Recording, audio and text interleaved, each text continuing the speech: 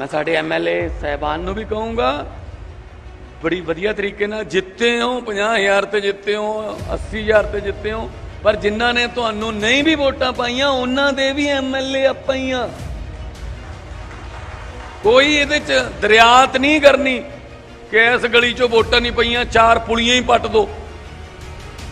ਲੈ ਪਵਾ ਲਓ ਫਿਰ ਉਹਨਾਂ ਤੋਂ ਜੀ, ਲਵਾ ਲਓ। ਨਾ, ਉਹ ਲੰਘ ਗਿਆ ਟਾਈਮ ਲੋਕਾਂ ਨੇ ਚੁਣ ਲਿਆ।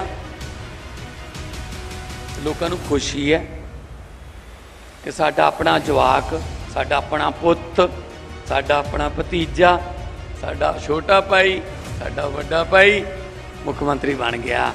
ਲੋਕਾਂ ਨੂੰ ਹਰੇਕ ਪੰਜਾਬ ਦੇ ਹਰੇਕ ਘਰ ਨੂੰ ਇਹ ਲੱਗ ਰਿਹਾ ਹੈ ਕਿ ਸਾਡਾ ਘਰ ਮੁੱਖ ਮੰਤਰੀ ਦਾ ਘਰ ਹੈ। ਅਸੀਂ ਵੀ ਸੰਵਿਧਾਨਕ ਤਰੀਕੇ ਨਾਲ ਚੁਣੇ ਹੋਇਆਂ ਸੰਵਿਧਾਨ ਦੀ ਸਹੁੰ ਚੁੱਕਦੇ ਹਾਂ ਅਸੀਂ। ਕਿ ਅਸੀਂ ਸੰਵਿਧਾਨ ਮੁਤਾਬਕ ਹਰੇਕ ਨਾਲ ਇਨਸਾਫ ਕਰਾਂਗੇ। ਉਹ ਸਹੁੰ ਚੁੱਕ ਕੇ ਮੁੱਕਰ ਜਾਂਦੇ ਆ।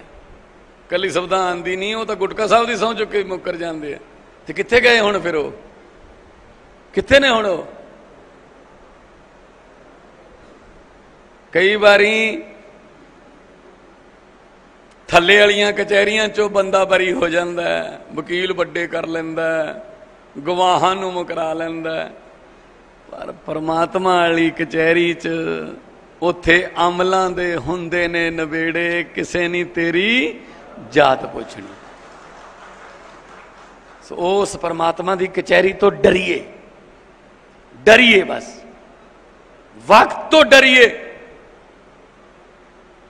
ਵਕਤ ਬਹੁਤ ਵੱਡੀ ਚੀਜ਼ ਹੈ ਜੀ। ਇਹ ਜਿਹੜਾ ਵਕਤ ਹੈ, ਇਹ ਰਾਜਿਆਂ ਦੇ ਸਿਰ ਤੇ ਇਹ ਜਿਹੜਾ ਵਕਤ ਹੈ, ਇਹ ਭਿਖਾਰੀਆਂ ਦੇ ਸਿਰ ਤੇ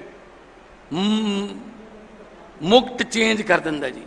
ਰਾਜਿਆਂ ਨੂੰ ਭਿਖਾਰੀ ਬਣਾ ਦਿੰਦਾ ਹੈ, ਵਕਤ ਭਿਖਾਰੀਆਂ ਦੇ ਸਿਰ ਤੇ ਤਾਜ ਟਿਕਾ ਦਿੰਦਾ ਹੈ, ਵਕਤ।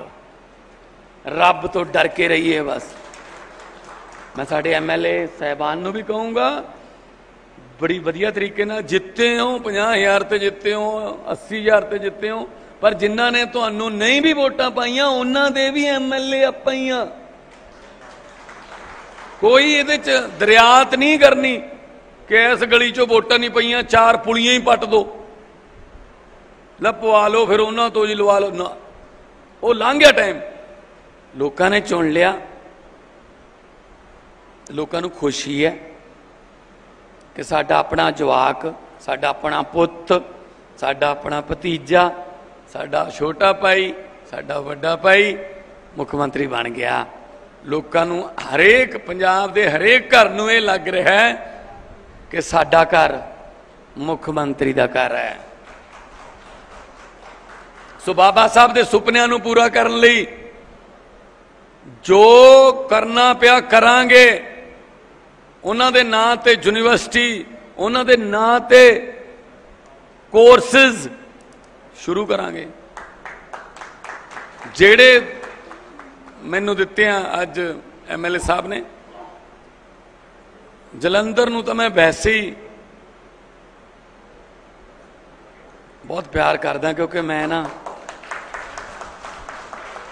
ਮੈਂ ਮੈਂ ਘਰਦਿਆਂ ਨੂੰ ਬਿਨਾਂ ਦੱਸੇ ਪਹਿਲੀ ਵਾਰ ਜਲੰਧਰ ਦੂਰਦਰਸ਼ਨ ਤੇ ਗਾਣਾ ਗਾਉਣ ਆ ਗਿਆ ਸੀ, ਜਵਾਂ ਤਰੰਗ।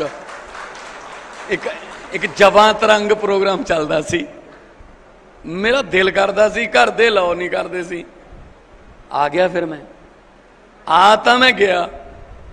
ਗਾਣਾ ਗੁਣਾ ਤਾਂ ਨਹੀਂ ਮੈਥੋਂ ਗਵਾਇਆ ਉਹਨਾਂ ਨੇ। ਪਰ ਮੈਨੂੰ ਪੰਗਾ ਜਾਣ ਵੇਲੇ ਪਿਆ ਵੀ ਹੁਣ ਕਿੱਥੇ ਜਾਊਂਗਾ। ਗੁਰੂ ਨਾਨਕ ਮਿਸ਼ਨ ਹਸਪਤਾਲ ਦੇ ਵਿੱਚ ਗੁਰਦੁਆਰਾ ਸਾਹਿਬ ਵੀ ਹੈ। ਉੱਥੇ ਰਾਤ ਕੱਟੀ ਸੀ ਮੈਂ। ਅਗਲੇ ਦਿਨ ਸਵੇਰੇ ਫਿਰ ਮੈਂ ਜਲੰਧਰੋਂ ਬੱਸ ਚੜ ਗਿਆ। ਗਾਣਾ ਤਾਂ ਨਹੀਂ ਮੈਥੋਂ ਗਵਾਇਆ ਉਹਨਾਂ ਨੇ, ਦੂਰਦਰਸ਼ਨ ਵਾਲਿਆਂ ਨੇ। ਬਾਅਦ ਚ ਮੈਂ ਦੂਰਦਰਸ਼ਨ ਦੇ ਬਹੁਤ ਸਾਰੇ ਪ੍ਰੋਗਰਾਮ ਕੀਤੇ, ਪਰ ਜਲੰਧਰ ਜਿਹੜਾ ਸ਼ਹਿਰ ਹੈ, ਇਹ ਇਤਿਹਾਸਕ ਸ਼ਹਿਰ ਹੈ। ਪੀਏਪੀ ਇੱਥੇ ਹੈ, ਸਪੋਰਟਸ ਇੱਥੇ ਹੈ, ਸੰਸਾਰਪੁਰ, ਮਿੱਠਾਪੁਰ।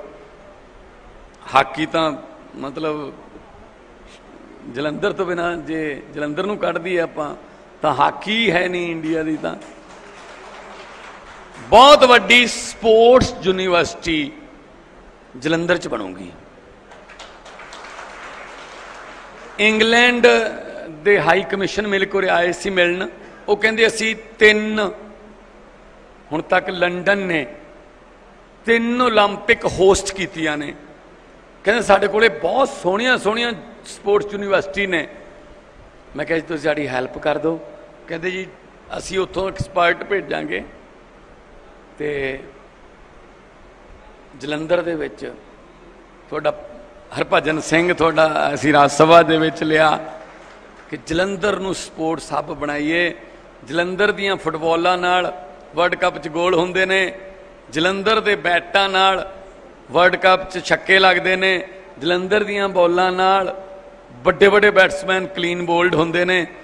ਸੋ ਜਲੰਧਰ ਜਿਹੜਾ ਉਹ ਸਪੋਰਟਸ ਦੀ ਹੱਬ ਬਣਾਉਣੀ ਹੈ ਬਣਾਉਣੀ ਹੈ ਬਣਾਉਣੀ ਹੈ। ਮੈਂ ਬਹੁਤ ਪੜ੍ਹਦਾ ਰਹਿਣਾ ਬਾਬਾ ਸਾਹਿਬ ਬਾਰੇ। ਵੈਸੇ ਤਾਂ ਮੈਂ ਬਹੁਤ ਕਿਤਾਬਾਂ ਪੜ੍ਹਦਾ। ਬਾਬਾ ਸਾਹਿਬ ਬਾਰੇ ਬਹੁਤ ਕੁਝ ਪੜਿਆ ਜਿਹੜੇ ਬੰਦੇ ਬਹੁਤ ਹੀ ਥੱਲੋਂ ਉੱਠੇ ਆ ਉਹਨਾਂ ਬਾਰੇ ਮੈਨੂੰ ਪੜਨ ਦਾ ਸ਼ੌਕ ਹੈ। ਬਾਬਾ ਸਾਹਿਬ ਕੋਲੇ ਪੈਸੇ ਖਤਮ ਹੋ ਗਏ ਸੀਗੇ।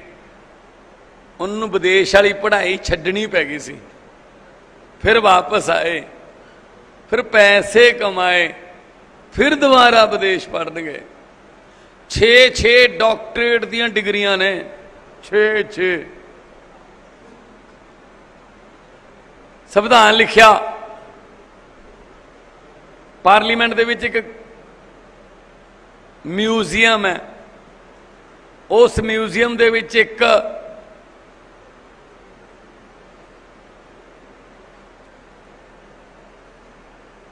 ਇੱਕ ਉਹਦੇ ਵਿੱਚ ਕਮਰਾ ਹੈ ਉਹਦਾ ਨਾਮ ਹੈ ड्राफ्टिंग ऑफ कॉन्स्टिट्यूशन भारत के संविधान की ड्राफ्टिंग जब हो रही थी कौन कौन बैठे थे ਬਾਬਾ ਸਾਹਿਬ ਬੈਠੇ ਨੇ, ਬਾਕੀ ਹੋਰ ਵੀ ਬੈਠੇ ਨੇ।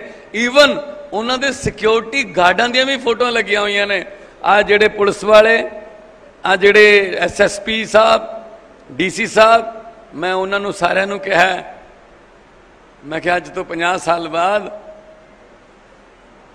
ਜੇ ਤੁਸੀਂ ਚੰਗਾ ਕੰਮ ਕਰੋਗੇ, ਤੁਹਾਡੀਆਂ ਫੋਟੋਆਂ ਵੀ ਲੱਗਣਗੀਆਂ ਕਿ ਇਹਨਾਂ ਨੇ ਪੰਜਾਬ ਠੀਕ ਕੀਤਾ ਸੀ।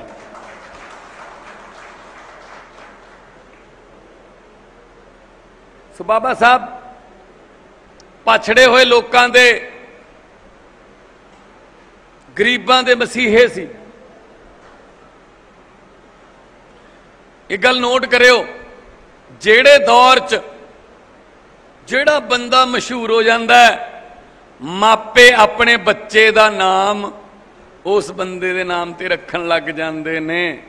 ਮੇਰੇ ਆਪਣੇ ਪਿੰਡ 4-5 ਬੱਚਿਆਂ ਦੇ ਨਾਮ ਭੀਮ ਹੈ।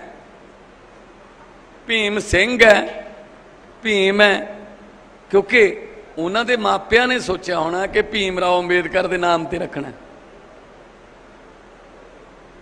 ਬਹੁਤ ਸਾਰੇ ਬੱਚਿਆਂ ਦੇ ਨਾਮ ਮਾਰਟਿਨ, ਬਹੁਤ ਸਾਰੇ ਬੱਚਿਆਂ ਦੇ ਨਾਮ ਕਿੰਗ ਲੂਥਰ ਦੇ ਨਾਮ ਤੇ ਰੱਖੇ ਗਏ, ਉਹ ਵੀ ਗਰੀਬਾਂ ਦੇ ਮਸੀਹ ਸੋ ਸੰਵਿਧਾਨ ਨੂੰ ਬਚਾਉਣ ਦੀ ਲੋੜ ਹੈ ਇਸ ਵਕਤ। ਛੇੜਛਾੜ ਹੋ ਰਹੀ ਹੈ ਸੰਵਿਧਾਨ ਨਾਲ, ਪਰ ਬਚਾਉਣ ਦੀ ਲੋੜ ਹੈ। ਇੱਕ ਮੈਂ ਤੁਹਾਨੂੰ ਐਗਜ਼ਾਮਪਲ ਦਿੰਨਾ, ਧਿਆਨ ਨਾਲ ਸੁਣ ਲਿਓ। ਸੋਨੇ ਨੇ ਲੋਹੇ ਨੂੰ ਕਿਹਾ, ਸੋਨੇ ਨੇ, ਸੋਨੇ ਦੀ ਦੁਕਾਨ ਤੇ ਲੋਹੇ ਦੀ ਦੁਕਾਨ ਆਮੋ ਸਾਹਮਣੇ ਸੀ। ਤਾਂ ਸੋਨੇ ਨੇ ਲੋਹੇ ਨੂੰ ਕਿਹਾ ਕਿ ਥੋੜਾ ਤੇਰੇ ਵੀ ਵੱਜਦਾ ਥੋੜਾ ਮੇਰੇ ਵੀ ਵੱਜਦਾ ਪਰ ਲੋਹਾ ਰੌਲਾ ਕਿਉਂ ਪਾਉਂਦਾ ਇੰਨਾ? ਅੱਧੇ ਪਿੰਡ 'ਚ ਤੂੰ ਸੁਣਦਾ ਹੁੰਨਾ ਯਾਰ ਜਦੋਂ ਤੇਰੇ ਥੋੜਾ ਵੱਜਦਾ ਤੇ ਮੇਰੀ ਆਵਾਜ਼ ਕਦੇ ਦੁਕਾਨ ਤੋਂ ਬਾਹਰ ਗਈ ਹੈ? ਥੋੜਾ ਮੇਰੇ ਵੀ ਵੱਜਦਾ, ਥੋੜਾ ਤੇਰੇ ਵੀ ਵੱਜਦਾ ਤਾਂ ਲੋਹੇ ਨੇ ਬਹੁਤ ਹੀ ਕਮਾਲ ਦੀ ਗੱਲ ਕਹੀ, ਕਹਿੰਦਾ ਮੈਂ ਮੰਨਦਾ, ਮੈਂ ਬਹੁਤ ਸ਼ੋਰ ਮਚਾਉਣਾ ਜਦੋਂ ਮੇਰੇ ਥੋੜਾ ਵੱਜਦਾ ਤੇਰੀ ਆਵਾਜ਼ ਹੀ ਨਹੀਂ ਆਉਂਦੀ, ਪਰ ਸੋਨਾ ਜੀ, ਤੈਨੂੰ ਬਗਾਨੇ ਕੁੱਟਦੇ ਐ। ਤੇਰੇ ਲੋਹੇ ਦੀ ਥੋੜੀ ਵੱਜਦੀ ਐ। ਬਗਾਨਿਆਂ ਨੇ ਤਾਂ ਕੁੱਟਣਾ ਹੀ ਹੁੰਦਾ ਹੈ ਬਗਾਨਿਆਂ ਤੋਂ ਉਮੀਦ ਕੀ ਕਰ ਲਓਗੇ ਤੁਸੀਂ? ਬਗਾਨਿਆਂ ਨੇ ਤਾਂ ਤੁਹਾਨੂੰ ਕੁੱਟਣਾ ਹੀ ਹੁੰਦਾ ਹੈ ਮੇਰਾ ਰੌਲਾ ਇਹ ਗੱਲ ਦਾ ਹੈ ਮੈਨੂੰ ਦੁੱਖ ਇਸ ਗੱਲ ਦਾ ਜ਼ਿਆਦੇ ਹੈ, ਮੈਨੂੰ ਮੇਰੇ ਆਪਣੇ ਕੁੱਟਦੇ ਐ ਸਾਡੇ ਸੰਵਿਧਾਨ ਨੂੰ ਸਾਡੇ ਵਾਲਿਆਂ ਤੋਂ ਹੀ ਖਤਰਾ ਹੈ। ਕੋਈ ਅੰਗਰੇਜ਼ ਨਹੀਂ ਬਦਲ ਰਹੇ। ਬਾਬਾ ਸਾਹਿਬ ਦੇ ਲਿਖੇ ਹੋਏ ਸੰਵਿਧਾਨ ਨੂੰ ਸਾਡੇ ਵਾਲਿਆਂ ਤੋਂ ਹੀ ਖਤਰਾ ਹੈ। ਸੰਵਿਧਾਨ ਬਚਾਉਣਾ ਸੰਵਿਧਾਨ ਬਚਿਆ ਤਾਂ ਦੇਸ਼ ਬਚੂ। ਨਾਲ ਇੱਥੋਂ ਮੈਨੂੰ ਲੱਗਦਾ ਨਹੀਂ 100 ਕਿਲੋਮੀਟਰ ਹੋਊਗਾ, ਨਾਲ ਦਾ ਮੁਲਕ। ਆਜ਼ਾਦ ਇੱਕ ਦਿਨ ਪਹਿਲਾਂ ਹੋਇਆ ਸੀ ਆ- ਉਹ 14 ਨੂੰ ਹੋਏ ਸੀ, ਆਪਾਂ 15 ਅਗਸਤ ਨੂੰ ਹੋਏ ਸੀ। ਪਰ ਕੀ ਹਾਲਤ ਹੈ ਉੱਥੇ? ਸੰਵਿਧਾਨ ਹੈ ਨਹੀਂ। ਕੋਈ ਸੰਵਿਧਾਨਿਕ ਸੰਸਥਾ ਹੈ ਨਹੀਂ। ਨਾ ਕਿਸੇ ਦੀ ਇਲੈਕਸ਼ਨ ਕਮਿਸ਼ਨ ਦੀ ਚੱਲਦੀ ਹੈ ਨਾ ਕਿਸੇ ਵਿਜੀਲੈਂਸ ਦੀ ਚੱਲਦੀ ਹੈ, ਨਾ ਕੋਈ ਸੀਬੀਆਈ ਦੀ ਕੁਝ ਕਿਸੇ ਦੀ ਨਹੀਂ ਚੱਲਦੀ। ਇਸ ਕਰਕੇ ਉੱਥੇ ਹਜੇ ਤੱਕ ਡੈਮੋਕ੍ਰੇਸੀ ਨਹੀਂ ਆਈ। ਇਹ ਗੱਲ ਨੋਟ ਕਰ ਲਿਓ, ਪਾਕਿਸਤਾਨ ਦੇ ਵਿੱਚ ਕੋਈ ਐਕਸ ਪ੍ਰਾਈਮ ਮਿਨਿਸਟਰ ਰਹਿੰਦਾ ਨਹੀਂ। ਕੀ ਕਿਹਾ ਮੈਂ? ਐਕਸ ਪ੍ਰਾਈਮ ਮਿਨਿਸਟਰ ਪਾਕਿਸਤਾਨ 'ਚ ਰਹਿੰਦਾ ਨਹੀਂ। ਜਾਂ ਤਾਂ ਤੁਹਾਨੂੰ ਮੁਲਕ ਛੱਡਣਾ ਪਊ ਜਾਂ ਮਾਰ ਦਿੰਦੇ ਆ ਬਸ। ਪਰਵੇਜ਼ ਮੁਸ਼ਰਫ ਤੇ ਨਵਾਜ਼ ਸ਼ਰੀਫ ਬਾਹਰ ਰਹਿੰਦੇ ਆ, ਉਦੋਂ ਬਿਨਾ ਸਾਰੇ